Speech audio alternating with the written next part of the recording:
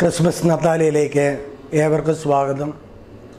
ഇന്ന് നമ്മൾ പുൽക്കൂടിനെ കുറിച്ച് ചിന്തിക്കുവാൻ ഒരുങ്ങുകയാണ് ക്രിസ്മസ് നമ്മുടെ ഭവനങ്ങളിൽ കൊണ്ടാടുമ്പോൾ നമ്മൾ പുൽക്കൂട് നമ്മുടെ ഭവനത്തിൽ ഒരുക്കാറുണ്ട്. ഈ യേശുവിന്റെ ജനനത്തിരുന്നാൾ ആഘോഷിക്കുന്ന നമ്മൾ അതിനുള്ള ഒരുക്കത്തിലാണെന്ന് നമുക്കറിയാം.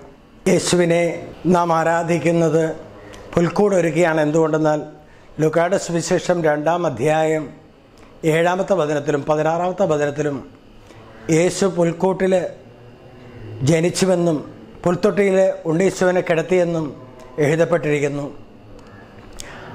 അന്നത്തെ കാലത്ത് യഹൂദജനം തങ്ങളുടെ ഭവനങ്ങളെ രണ്ട് തട്ടായിട്ട് ക്രമീകരിച്ചിരുന്നു.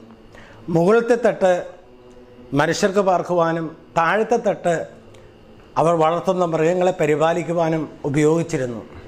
അതുപോലെ തന്നെ സത്രങ്ങളിലും ആളുകൾ വരുമ്പോൾ വളർത്തുമൃഗങ്ങളെ കൊണ്ടുവരുമ്പോൾ അവയ്ക്ക് അവയെ പരിപാലിക്കാനായിട്ട് വേറെ ഒരു ഭാഗം ക്രമീകരിച്ചിരുന്നു.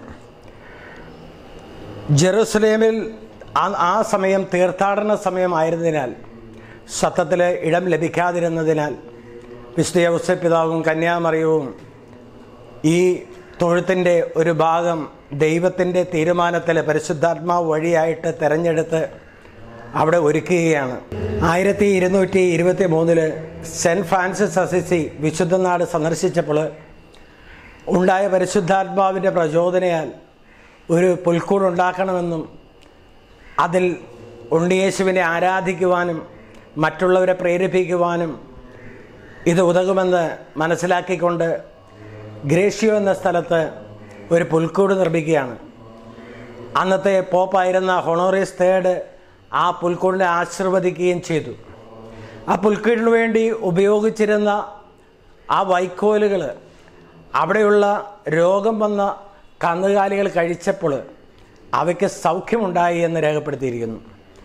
അതുവഴിയായിട്ട് ഇറ്റലിയിലെ എല്ലാ ദേവാലയങ്ങളിലും പുൽക്കൂട് ഉണ്ടാക്കുവാൻ തുടങ്ങി.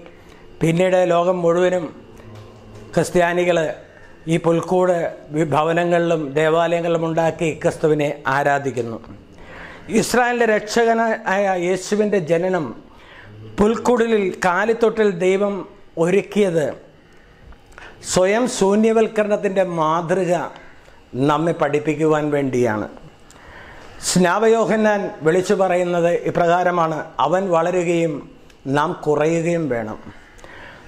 നമുക്കറിയാം ദൈവം ദൈവത്തിന്റെ പുത്രനായ യേശു ദൈവമായിരുന്നിട്ടും ആ സമാനത നിലനിർത്താതെ തന്നെ തന്നെ ശൂന്യനാക്കിക്കൊണ്ട് ദാസന്റെ രൂപം സ്വീകരിച്ച് ദരിദ്രനായി കാലിത്തൊഴുത്തിൽ ജനിച്ചെങ്കിൽ നമ്മുടെ ജീവിതത്തിലും ഈ ശൂന്യവൽക്കരണം ദൈവം ആഗ്രഹിക്കുന്നു.